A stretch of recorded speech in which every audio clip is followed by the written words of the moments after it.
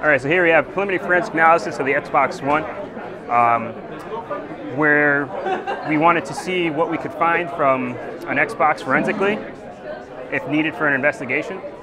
Um, so basically what we did was we set the hard drive back to factory settings and imaged it, put it back in the Xbox, ran some scenarios, downloaded some games and apps, imaged it again, um, and then did some network analysis. We then analyzed all this data. Um, we found that it was mostly encrypted, uh, but we were able to put together a timeline, um, a pattern of use, things of that nature, so it would be useful for uh, an investigation.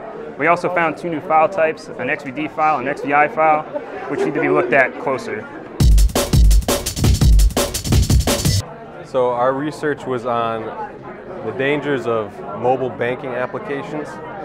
And what we did was we came up with an index that rated your banking application based on the permissions. We gave it a weighted total based on dangerous permissions and normal permissions. And then the average gives us our ADI, our index, and it tells you on a scale of one to five how dangerous your banking application is. And one of the findings that we have is over here we find that these uh, permissions are found mostly in malicious banking app malicious applications. So if you see any of these permissions in your banking application, you want to think twice about downloading it because it could be dangerous. My project is network forensic analysis of Android chatting applications. Uh, it's basically, it's like uh, we did analysis for uh, eight applications or eight chatting application to see uh, if the data is, uh, uh, is the data that we are seeing is encrypted. So basically to do that, we are using an rooted Android smart smartphone. So are using Galaxy S1 and we use some application inside the phone to capture the network traffic or the data packets. So for that, we did like install some application on our uh, smartphone, and we capture the, net, uh, the, the network traffic that goes uh, between like two phones or, or uh, during the uh, any conversation on uh, any of these applications. So we chose like eight applications regarding of their popularity on the market.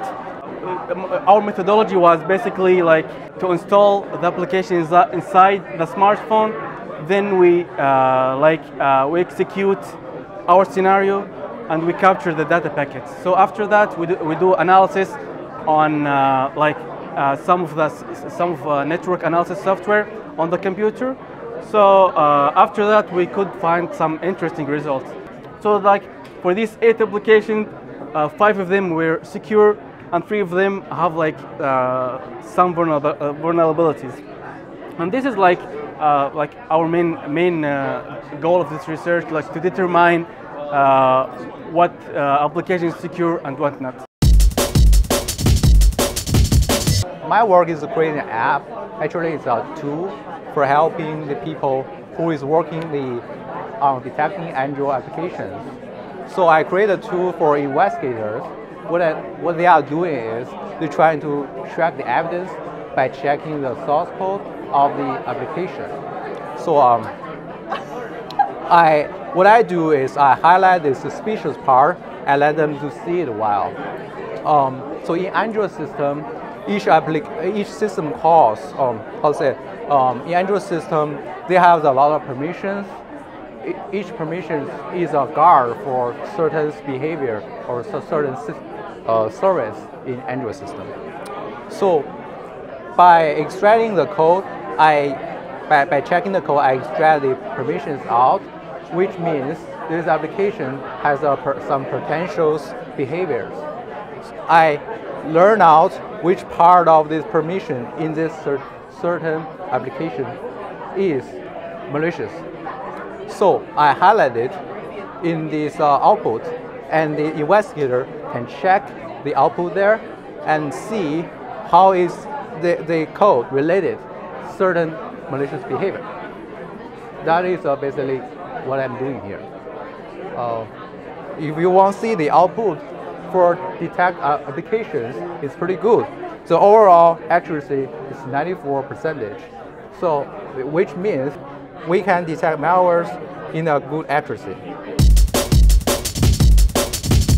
Uh, we did forensic hard drive analysis on Windows 8.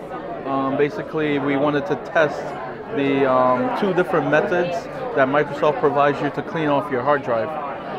The first method is the quick method, um, which is about two minutes long. Um, it does a good job of hiding your data, but when we analyze the hard drive using these three materials, FTK Imager, Autopsy, and Scalpel, we realized that we were able to recover all the data. So it's not necessarily something you want to use if you want to sell uh, your computer to a stranger, let's say, um, because if they wanted to, they can recover all your data that you had on the computer, even though you thought you erased it. The second method is the thorough wipe. When we tested that, we realized that took a lot longer. Um, it was overnight. To do the whole hard drive was probably around seven or eight hours. Um, but when we looked actually into the hard drive with autopsy and scalpel uh, after we created the disk image, we realized that it's a lot tougher to recover data with that method. It actually writes zeros all across the hard drive, so does a pretty good job of cleaning it off. Now, with a lot more sophisticated software, there's no telling if you're able to recover some of the data, but with what we worked with, we weren't able to get anything back. So uh, the, the conclusions we were able to draw was um, the thorough wipe was a lot more effective uh, in getting rid of, of your data. Um, so yeah, unhcfreg.com is our website. You can check it out. Take a bite out of crime.